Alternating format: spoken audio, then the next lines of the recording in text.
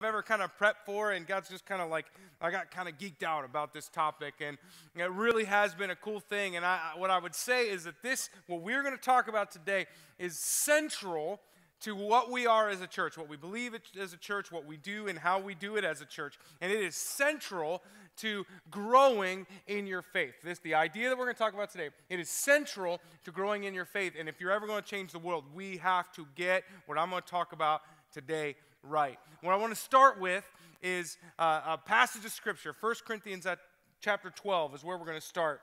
And I will just say this stay with me to the end because at the end of this uh, sermon, I've got a specific challenge for you and a specific need for our church. Something that we, as we're going to take the next steps for us as a church, we have a need that, that we need to address. So, 1 Corinthians chapter 12. We're looking at the whole chapter, but I, I'm broke, I break it up so we don't have to read the whole thing. We'll highlight some verses so you'll get the idea of what's being talked about in this chapter. But this is a great place to start. So 1 Corinthians chapter 12, starting in verse 12, it says this Just as a body, though one, has many parts, but all its many parts form one body, so it is with Christ. For we were all baptized by one Spirit as to form one body. Everybody say one. one. That word keeps coming up here. Whether you're Jew or Gentile, slave nor free, the beauty of the walk with Christ, it doesn't matter who you are, where you come from, what gender, age, stage, God loves you, wants to do something in you, and you are a part of the one. Everybody say one. We were all given the one spirit to drink. Even so, the body is not made up of one part but many. But in fact, God has placed the parts in the body every one of them, just as he wanted them to be. If they were all one part, where would the body be? As it is, there are many parts, but one body. If one part suffers, every part suffers with it. If one part is honored, every part rejoices with it. Now, listen to this. Now, you are the body of Christ, and each one of you is a part of it. You're the body of Christ. You're the body of Christ. Each and every one of you are part of it. What I want to talk about this morning is uh, based on the idea of body language. Body language. Before we dive into it, let's pray. Bow our heads, close our eyes, let's pray. Heavenly Father, we come before you and I pray that in the next few moments, God, would your spirit move in this place? God, I pray that you would speak to our hearts. God, whatever it is that we need to hear, whatever, whatever the thing is, God, I pray that you would challenge us, you would change us, and you would continue to make us into world changers through the blood of Jesus. That we praise you for hope and life in Him. And it's in Jesus' name we pray. And everybody said, Amen. Amen.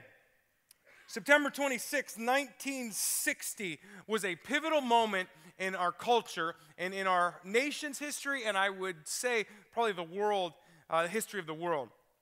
Uh, September 26 was the date of a presidential debate between John F. Kennedy and Richard Nixon.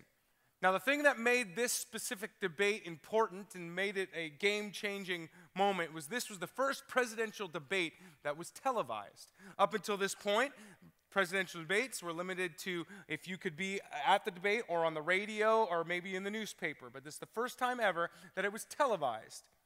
The fascinating thing about this debate is that after the debate took place, polls were taken just like today. You know, politics is all crazy and stuff, and you hear polls all the time. They were doing that, you know, 50 years ago or 60 years ago. So they took polls. This was the first time ever on TV. About half the nation who were interested, in politics watched it on TV. The other half of the nation listen to it on the radio because TV was still wasn't quite as mainstay as it would become. So they took polls, and the people that watched it on TV, the majority of people polled who watched the presidential debate on TV, said or felt like John F. Kennedy won the presidential debate. The crazy thing was, is the majority of people who listened to the debate on the radio, they felt like Richard Nixon won the debate.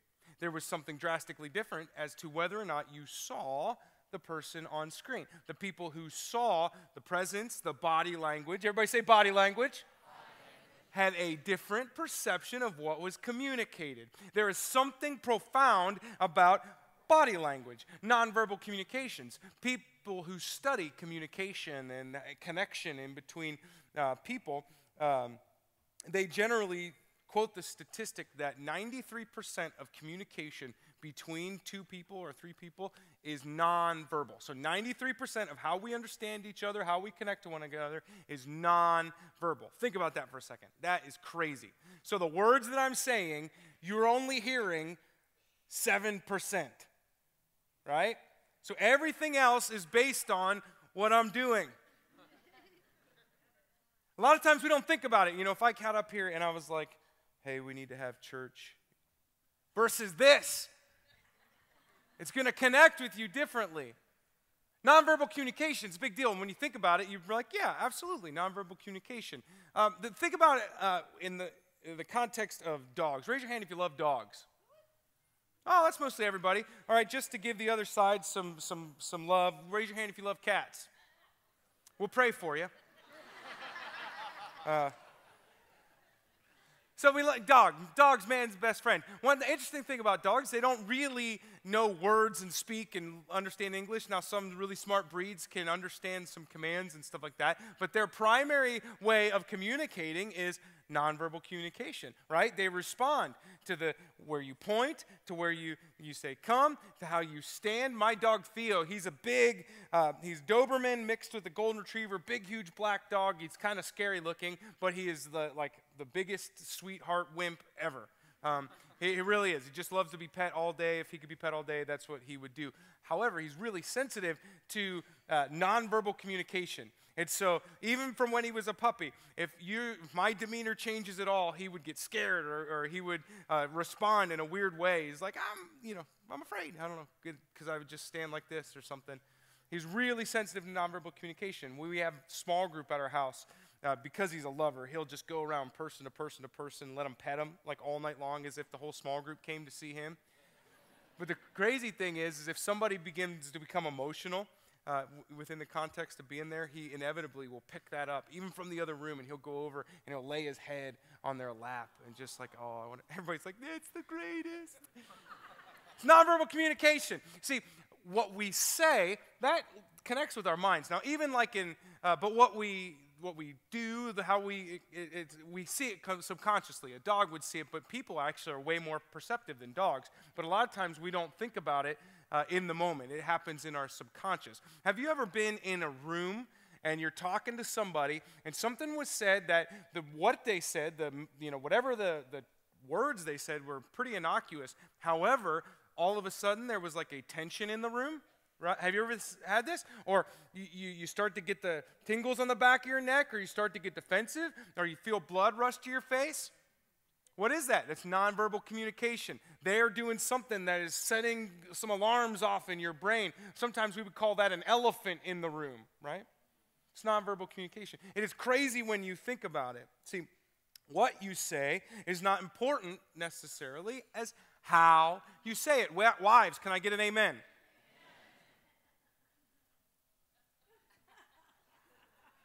Nonverbal communication. I tell you, I, I, really, I mean, I was studying for this, this sermon and I started to go down this, this rabbit hole of nonverbal, and I just geeked out. It was just fascinating to me how much we respond. You can actually change a room with how you stand.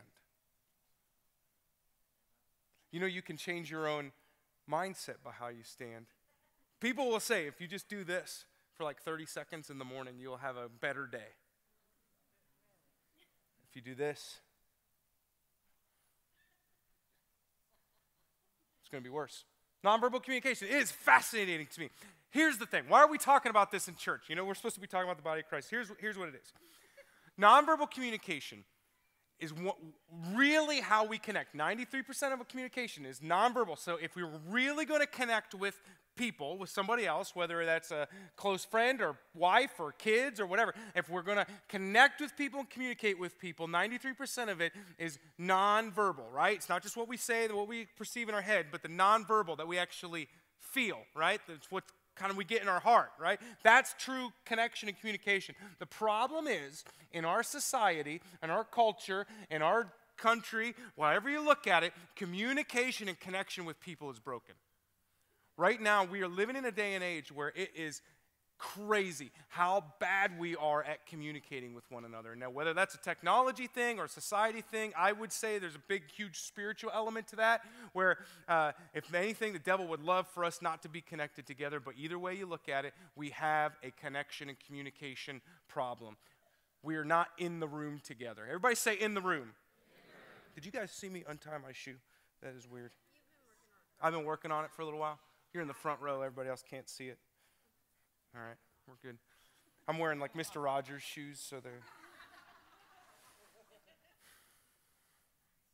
We got a, dis- a connection problem. We got a communication problem uh, in our culture. You ever misread a text? Everybody was like, Amen. Yeah. Somebody said something and it was like totally not a thing. It was like something like, Oh, I really hope that you come over later. And you're like, What? I can't believe they would ever say. And you get all mad and break up a relationship. We've all been there, right? Why? Because that was in the 7% category. If they had been standing with you and they said, Oh, I wish you'd have come, you're the, the nonverbal communication, you would have connected together, right? It's crazy. Think about it. When it comes to text messaging and uh, how we communicate on Facebook, we've actually gone so far as to make up pictures to simulate body language, right? What are emojis? Pictures to simulate body language. GIFs or GIFs. What is it? Is it GIF or GIF? Raise your hand if you think it's G, GIF. Raise your hand if you think it's J, GIF. Raise your hand if you don't care. All right, yeah. That's cool. We got a connection problem, a communication problem. All right, that's, that's a very long introduction, all right? And it lays a groundwork for what we want to talk about, how we want to unpack it, all right? So I'm going to give you three really quick points, and we're going to dive through and look into God's Word together, all right? First point number one, we're created to be together, and we are better when we are connected together. We're created to be together. All right, we got a problem in our culture. I would say that it's rooted in a sin thing and it's rooted in the devil would love to not keep us connected. But we were created to be together. You look in the book of Genesis, the story of the creation of the world. God creates the heavens and the earth and the sun and the moon and the stars and the trees and the birds. And at the end of every day, he looks at what he's created and he says that it's good says, This is good, and this is good, and this is good. And then he gets to Adam, and he creates Adam, and he says, It's not good for man to be alone. And so he creates Eve. Ladies, can I get an amen? He creates Eve. Now, it wasn't just Eve that made it good, it was the fact that Adam and Eve were now two that could be connected and communicate together. That they were part of who they were is to be together. We're created in God's image, and part of God's image is the joy and the process of learning to connect together in a deep way. We're created to be together. You don't even have to look into God's word and talk about that on a spiritual level to know it deep down. I think each and every one of us know. You know deep down that you have a longing to connect with other people. Even if you're an introvert, you have a longing to connect with other people. It's because you're created to do that. While we are struggling as a society to connect together, what we're seeing right now, statistically, is in the areas of depression, anxiety, suicide, all of those are going up and up and up. It's getting worse and worse and worse. And people to study those kind of things, they would say without question, people who are struggling with de- depression and anxiety almost to a person, they're struggling with the idea of having purpose in their life and the, the idea that they feel, everybody say feel, they feel like they're alone. Feel like they have no purpose and they feel like they're alone. Even that they're in a crowd of people, but they still feel alone. What is that? They're not connected. They are not experiencing connection. Where the way God crea- created it, designed it to be, is that each and every one of us have a purpose, and part of that purpose is to connect with one another. That's how God designed it. And so there is a tension between what God is calling us to and what the world is trying to pull us towards. The world is trying to make us isolate, pull us away from one another, where God created us to be together. That means, number two on your outline, a key part of being a Christian is growing and being connected together. Key part. If you're going to follow Jesus, if you're going to be a Christian, then major portion of that is that you are growing in your relationships with one another. There's no escaping it. learning to connect, communicating, not just with the things you say, but actually being in somebody's presence enough, being in the room. Everybody say in the room. If you're going to actually see the body language, the nonverbal communication, you got to be in the room. You got to experience presence with one another. It's fascinating. This is a little bit of a sidetrack, but uh, I was thinking about Mother Teresa. Mother Teresa is very, very well known. She wasn't known for being an orator or a speaker. What she was known for is that she went to the places where people were sick with things like leprosy and AIDS, the people who were untouchable, who they didn't want other, other people didn't want to be even in their presence. And what she did, she didn't heal them, she sat with them, she touched them. She was just loving to them and lifted their spirits because they were missing out on the connection, and she provided the connection. It's a beautiful thing. The presence, being in the room together. Part of being a Christian is learning to connect with one another. That means that we're supposed to be in the room together. This means that we're supposed to be growing in our relationship with one another. Jesus was asked, What are the What's the greatest commandment? If you're going to really follow God, what's the greatest commandment? And Jesus said, I'll sum up the law in two sentences. He said, Love the Lord your God with all your heart, mind, soul, and strength, and then love your neighbor as yourself. It's not just this way, it's this way as well. You can't miss this. If you're going to be a Christian, if you're going to call yourself a Christian, if you're going to grow in your faith, it's not just this, it's this. It's growing in relationship. So many people think, well, I can believe in God and not go to church. I can pray and all that stuff without going to church. Absolutely, you can, but you are not going to grow spiritually. We opened up the sermon by reading 1 Corinthians chapter 12. It's all about the body of Christ, each and every one of us.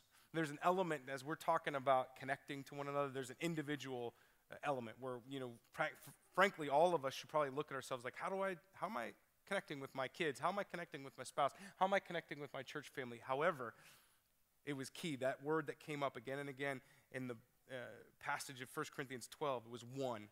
You're one, but we all form one. So each and every one of us have strengths and gifts and abilities, and God uses us individually with our strengths and weaknesses and gifts and talents and all that stuff, and He pulls us together. And he, the analogy is a body, like a physical human, like held together by joints and marrow and tissue and fibers that bind us together. We are as one.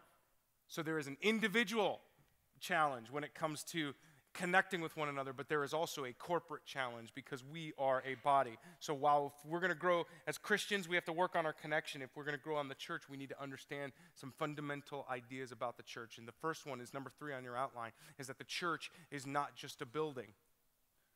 It's, it's not just a building, it's a body of people growing together spiritually and in love for each other. What's church?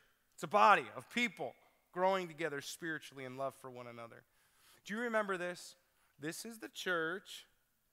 This is the steeple.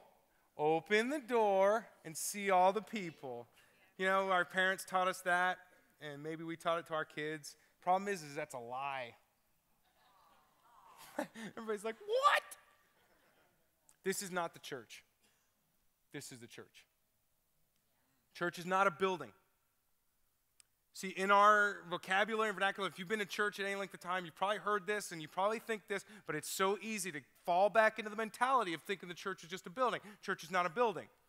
How, many, how often do you ask somebody, where do you go to church? Or do you go to church? As if that was the destination. That's not the church, right? If this building burnt down, you better believe the Medway Church is going to have church because this is not the church, this is the church. Are you with me? Raise your hand if you like rock and roll. Yes, second service. First service, there was a whole bunch of people who were like, I don't do that. Um, come on, rock and roll. If, uh, you went to the Rock and Roll Hall of Fame in Cleveland, Ohio, paid $25 to go in and look at all the cool stuff that's in there. You get to see Michael Jackson's glove, you get to see James Brown's cape, you get to see Elvis Presley's guitar, you get to see Slash's guitar pick, all of this stuff, and you interact and you see the history of rock and roll. When you come out of the Rock and Roll Hall of Fame, are you a rock star? No, no, no, no. Why? Because you just went in and you looked at all the stuff. It was a museum and you come out and you're the same. If we make church all about a building, what we're doing is we're turning it into a Jesus museum where people walk in, they hear some good message, they hear some good history, but then they leave and they're never the same. Or they leave and they're never changed, rather. What we want is for them to leave and never be the same. It's a pretty big difference, right?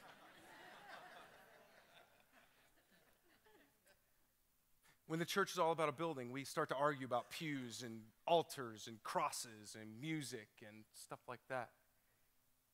The problem is, is when the world sees the church as a building, as a Jesus museum, they walk in and they're not changed. How many people you know have visited a church and they leave and they're like, ah, just didn't do it for me? I talk to so many people. It's not about the message. They're like, I like the message. Love all people. That's a great message. I, I, like the idea of, of, of growing in community together. I like the idea of, of singing good songs. They had great music. They'll, they'll like interact with it, but then they say, nah, that's not for me. Why? Because it's Jesus Museum. It's one hour a week. You go in and you just see a good thing. We have to constantly be thinking how do we as a church make sure that we are not about a building? We're not just a Jesus museum. See, when people go and they're turned away from church, they go to a church and they're saying the right things and they're maybe singing the right songs, but the people are turned off or they don't want to come back or they call the church a bunch of hypocrites. The problem is, is that the church as a body is using the wrong body language. Everybody say body language. In the very same way that you can incorrectly communicate somebody something to somebody you love, even though you said the right words, but it for some reason didn't go right because you had weird body language. The very same way the church, I think, so often communicates the right thing with what they say. They say the right message, sing the right songs, do the right ministry, but their body language is wrong. They don't love one another. So when people come, go in and see them, they don't feel like it could be a place that they could call home. 1 Corinthians chapter 12, after it gets done talking about the church being each and every one of us joined together in one body, it goes on to talk about our body language. And in 1 Corinthians chapter 13, it says this If I speak in the tongue of angels or men, but have not love, I am nothing but a resounding gong or a clanging cymbal. If I have the gift of prophecy, and can fathom all mysteries and all knowledge, and have a faith that can move mountains but have not love, what are you? Nothing. If I give all I possess to the poor, body over to hardship, that I may boast, but do not have love, I am nothing. You can say all the right things. You can do all the right things. You can sing the right songs. You can preach the right sermons. But if you do not have love, it's nothing. Now, sometimes we'll take that verse and we'll read it for us individually. Like I said, there's something to be said about learning to connect with each other individually, absolutely. But this is talking about the church. It's recognizes, recognizing that when people come into the body of believers, the community of faith, and they don't see them loving one another, that they immediately, subconsciously think something's wrong. Jesus told his disciples, The world will know you are my disciples by how you love each other. How you love each other. See, we are created to be connected together. If we're grow as Christians, means that we're going to grow together. And the church is more than just a building, it's a body. We got to recognize that growing spiritually with God and growing with one another, it's part of the same coin. Number four on your outline, just write this in. Growing spiritually and growing in love with each other are two sides of the same coin. It's the same deal, all right? You cannot grow spiritually and not grow in relationships. It doesn't happen. You might get some more knowledge, but that's not growing spiritually. Growing spiritually, I mean, truly growing in Christ means that you're growing in relationship. And if you are truly growing in relationship, they, you are going to point, hopefully, point yourself to Jesus. That's why it's so important you choose who you hang with very wisely. Doesn't mean you don't hang with people who aren't a Christian, but you better surround yourself with some deep, loving people who will point you back to Jesus. Because it goes hand in hand. Ephesians chapter 4 talks about the body of Christ and talks about spiritual gifts as well. And it says that if we will learn to love one another, be patient with one another, overcome problems with one another, put in the hard work of being in presence with one another, no matter what, it says, if we do that, then we will no longer be infants tossed back and forth by the waves. You want to grow spiritually, you got to grow with brothers and sisters in Christ. You got to get connected. If you're going to be truly connected, you got to be in the room together. You got to be communicating not just 7%, but the whole thing. You got to grow in love. Because ultimately, that's what the world's going to see. Not going to be the message, it's going to be our body language. It's not going to be what the, we sing, it's going to be how we love one another. That's how we change the world, by how we love one another. Number five on your outline changing the world starts with how you love.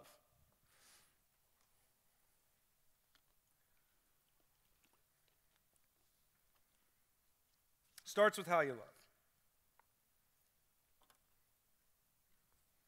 You know, we said if you're really going to connect, it's got to be more than what you say, it's how you say it. See, what you say that like that's how you, you think. You know, somebody says something to you, you process it in your mind, but it's the subconscious that picks up your body language. It's kind of how you feel what they feel. It's kind of how it gets in your heart in the very same way. This is what it's all about as a church. What we say, that's the head thing, but what we do, how we love is the heart thing. It's a subconscious thing that people see.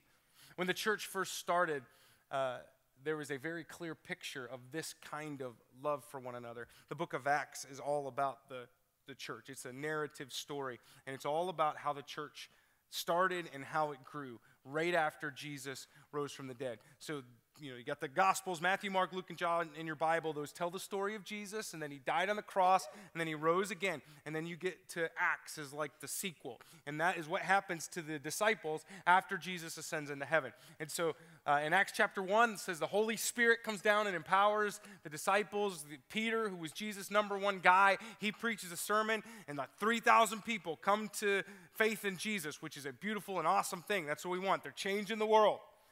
Then they start the church, formal, the church of which we are still a part, the gathering, the people, the body.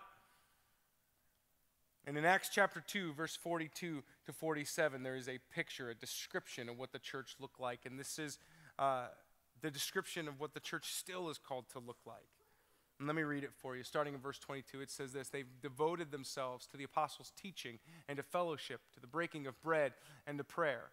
Everyone was filled with awe at the many wonders and signs performed by the apostles. All the believers were together and had everything in common. They sold property and possessions to give to anyone who had need.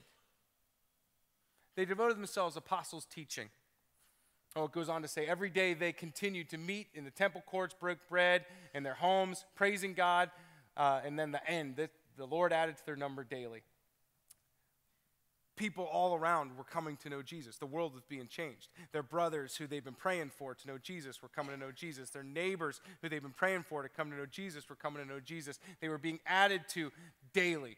That is crazy. Think about the energy, about the movement of God happening in that place.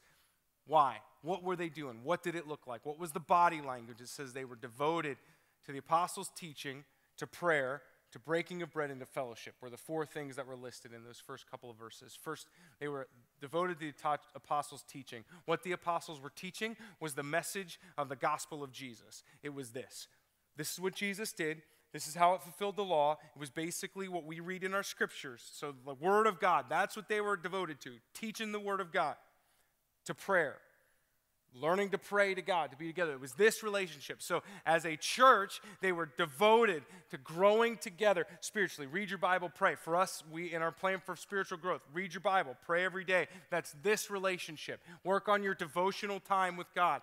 They were devoted to it. Then they were devoted to fellowship. Fellowship is, uh, comes from a Greek word called koinonia, that word translates, we translate it simply as fellowship. Sometimes, though, we maybe miss what true fellowship means. What that was referring to is, is basically being of the same mind. It's like being on a sports team. You have a common goal. Different people, different roles, different strengths. It doesn't mean you always love like each other. Sometimes you get in fights and stuff, but your common purpose unites you for a goal, right? That's fellowship. That's koinonia. It's very much like a body, right? A body with many different parts and skill sets, a physical body. That's fellowship. They were devoted to their mission, their common purpose, which was to change the world, to reach the world for Christ. And then it says they were devoted to the breaking of bread. Now, if you read some commentaries, some scholars try to uh, point that that might have meant communion. You know, like when we take communion together, that breaking of bread meant when we take communion together. However, most scholars, you know, point to the language of that, and it actually says this again a couple verses later. Actually, that probably just means eating together. It just means eating together. So they were devoted to growing like this. They were gro- devoted to prayer and, and the word. They were devoted to fellowship, their mission, and then they were devoted to eating together. Now, sometimes, I, I, don't know about you, but sometimes when I think about uh, like the early church or maybe the church or Christians in general, and I, I feel like we, I get this kind of haze in my mind that uh, everything that they do is going to be super churchy, right? Like, so they are like eating, so they broke bread in their homes, and my picture is like Amazing Grace is playing in the background, and a lot of, lot of like here, thous, and this, thithers as they're eating this thing. Where the reality was, chances are good, that just meant that they were hanging out, they were eating food, talking about how bad the Bengals were, right? That's it. They're just, eh, they're in the room. Everybody say in the room. They're interacting with one another. They're learning to love one another. Something special about eating together, isn't there? Something intimate about sharing a meal. It's crazy. We talked about the connection problem, the communication problem that we have in our society. That's not a new thing. It's really fascinating. You look at architecture in our country. If you go prior to about 1955 or 1960 and look at homes, how were homes built? Giant front porch, big living room where you could gather together, dining room, big kitchen. That the whole house was set up so that you could interact with your neighbors and bring people in and then just talk to one another, be in each other's presence. If you go into a home today, there's no front porch. The living room is kind of small, centered around a TV. The kitchen is non existent. If you have a dining room, nobody goes in there. But the master bedroom is huge. Isn't that crazy to think about? Left to our own devices, we want to try to isolate as opposed to learning to grow together and love one another. To actually be in presence, to eat together. That's what the disciples did. That's what the church looked like. When people saw them, they saw people who were committed to God and growing, but they saw people who were committed to being connected and love one another. And it was a beautiful thing and it's an attractive thing, and that is how the world sees Jesus. It's how we love. It's a big deal to understand how we love one another matters. How we're connected to one another matters. Now, I said this in the last service, and it just, I don't know. I, I think you, they got it, but it's a little dangerous. But when we say how we love one another, I think sometimes it's easy to be like in the I love you, man kind of way, right? Kind of surfacey. What I said in the last service was like the Yellow Springs kind of way, which was like, I love you, man. You know. Uh, and then some people were like, I'm from Yellow Springs. And I'm like, I don't mean it bad. I just mean that you know, we're talking about practical. Yeah, my body language was weird.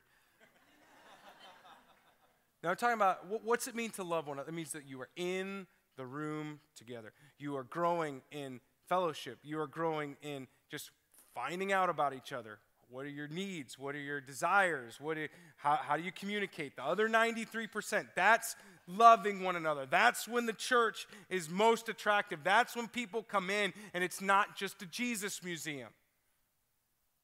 It's how you love. That's what our call is as, a, as Christians and as a church, is to love one another deeply. So the challenge is, is how do we do that? How do we have the right body language as a church and as individuals? How do we do it? We got to work at it. They devoted themselves. Everybody say devoted. They devoted themselves. They worked at it, right? Sometimes it's hard to read your Bible every day, isn't it? Stuff gets in the way. Sometimes it's hard to have a good devotional life where you pray because stuff gets in the way, but you try and you try and you try. Sometimes it's hard to be on mission. Sometimes it's hard to love one another. Amen? But when we do, when we love one another, when we learn to overcome stuff, we start to step in to the description that 1 Corinthians 13 goes on to say. After it talks about the body and having the right body language, it defines love like this Love is patient, love is kind keeps no record of wrongs. It always hopes. It always perseveres. It always protects. That kind of love, when we learn to love each other like that, if you're going to be patient with somebody, you got to be in the room, be in presence with them. You got to overcome some stuff. If we love one another like that, what we're doing is we're showing the love of Jesus to them because that's exactly how Jesus loves you and me.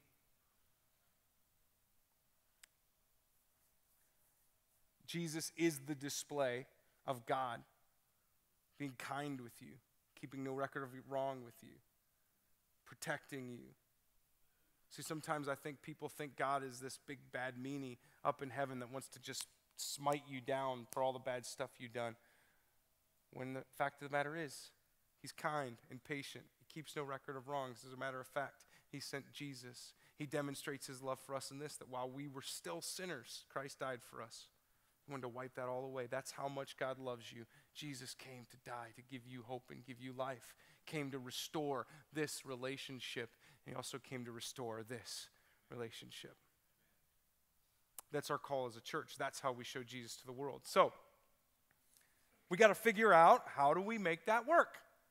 So, for us at Medway Church, if you rewind the, about 15 years ago, our church looked very different. And if you've been to our church for a little while, you might know the story. If not, uh, 15 years ago, this church was nearly dead. There was only 50 people at our church, give or take, and the average age was they were really, um, let's just say they watched the 1960 debate on television, okay?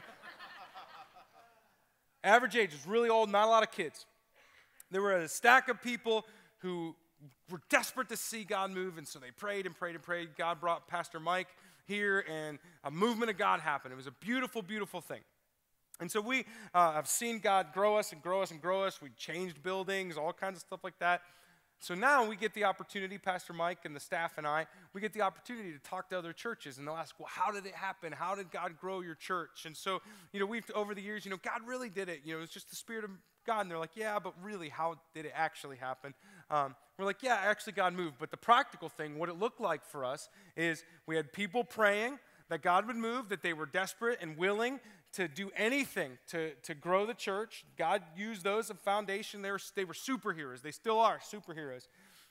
And then Pastor Mike came. God gave him the leadership gifts and anointed him to take us and point us to being external. So we, were got, we got on mission, right? So people, we very much like Acts 2, we started to focus on God and we started to focus on our fellowship, our mission of reaching the world for Christ.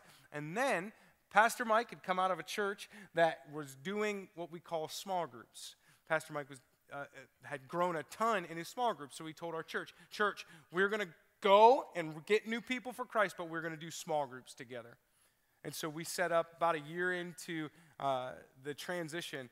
Pastor Mike said, You know what? We're going to do small groups. Everybody's like, We don't even know what that is. What's a small group? He says, Well, it's just people gathering together in their homes, very much like Acts 2. We're just a smaller group, can't do the whole church, just a couple people in the room together. Everybody say in the room. You eat together, you fellowship together, you look into God's word together, you pray together, you challenge one another, you just bear one another's burdens. Just go for it. The church said, okay. We had people who had never led small groups, who never thought they would lead a small group. They stepped up, they were willing to take a chance, and so small groups started. And our church began to grow like crazy, and those people in the small groups were growing like crazy, and the leaders were growing like crazy. And it grew and grew and grew. And as our church has continued to grow in our influence and our reach, I would say the probably the most important part, the central piece to us growing is our small groups. It's us working on the together we recognize that our ha- a major part of our call as Christians is to grow that relationship. And so we took it as a responsibility to grow. And so we've devoted ourselves to it. And the primary way we do that is through small groups. That's how God's moved in this place. From a practical challenge standpoint, absolutely. we sometimes it's hard. But I would say from a personal standpoint, I look back at my time at Medway Church, the biggest steps in growth that I've taken have happened through my small group biggest of impacts in my wife and I's family's life has happened through our small groups. Our best friends happen in our small groups. It has been, made the difference for us in just our lives. You talk to anybody here who's been a part of small group, you probably will hear stories of how they are here because of their small group, or maybe they felt like their life was saved by their small group. Right? They're, they, it is means so much, so much from a challenge standpoint, but also from a hey, if you want to experience God in His fullest, you need to be in a small group. So, the challenge, challenge for us is simple get in a small group. Get in a small group. I don't know if you've been here for any length of time. We say it all the time. If you want to grow spiritually, read your Bible, pray every day, come to church regularly, serve, get in a small group. The reason we do it is because it's how we connect, it's how we get our body language right so that the world sees. So if you're not in a small group, sign up, plug in, get going. You could sign up on our app, you can come see us at guest services. I would challenge you take a step. If you've only been coming for a couple of weeks, you don't have to wait. There's no time frame. Sign up, be a part of it. I'm telling you, God will move in you. I will say this we got a huge number of people. You know, if you feel challenged, oh, I want to take that step. Awesome. Just be very careful. There's so there's a lot of moving parts. If you don't get called right away, we do our very best to call within a couple days. But if you sign up and it's hard to get into, be devoted to it. Don't give up. Keep trying. Follow up with us. Don't be mad. Just follow up with us because we, we, do. We desperately want to get you connected because that how, is how God's going to grow you and that's how we're going to change the world. I told you at the beginning I was going to hit you up with a need. We need that we have a massive need for us as a church. And it's always good to just communicate so they're all on the same page. We have so many people that are new and coming to our church, and we've recognized that God has grown our church basically as with small groups as our heartbeat. Right now we have almost 40 groups, small groups, which is awesome. That's uh yeah, it's great. But we only have about half of our people in a small group right now. I'm challenged, I would love for us to get everybody into small group because that's how we're going to grow. But in order to do that, we need small group leaders. Right? We have about 40 groups. My group, just as an example, my group has 23, 24 people in it in my tiny little living room. We got to leak into my giant master bedroom. we got a whole bunch of little kids. We, we, we run out of space. We need small group leaders. We need people who are willing to take a step to let God use them. Some of you have been small group leaders in the past. You've taken a break. Man, I, we need you again. Some of you have been hesitant to take the step. You're thinking, oh, I need to have a theological degree. You don't. We've set it up in such a way where it's easy as anything. We have curriculum provided. All you got to do is get in the room with people and try to learn to love each other. That's really what it is. If you've been hanging out for any of time, you've been going to church for a while, we need people to step up and be small group leaders. Maybe if you're thinking, I don't know that I could ever be a leader, but you got a house and you're hospitable, we need people to host small groups. We've got some leaders that don't have the space to do it. If that is you, either one of those things, God may be pressing on your heart to be a part of that, to help us with that, come see us at guest services, sign up online, let us know. We need it. We need to get plugged into small groups and we need leaders. That's going to make our church irresistible to the world. That's going to help us change the world. That's how we're going to take the message of God to not just be something we hear with our heads, but actually we feel with our hearts, and it is going to change the world. Let's pray together. Heavenly Father, I pray, God, that you would make us a irresistible church God, you would make us a church with the right body language.